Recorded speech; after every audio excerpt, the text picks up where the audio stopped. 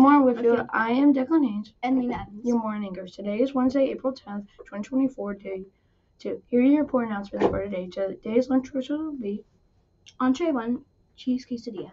Entree 2, Bulldog Power Pack. Entree 3, PB&J Uncrustables.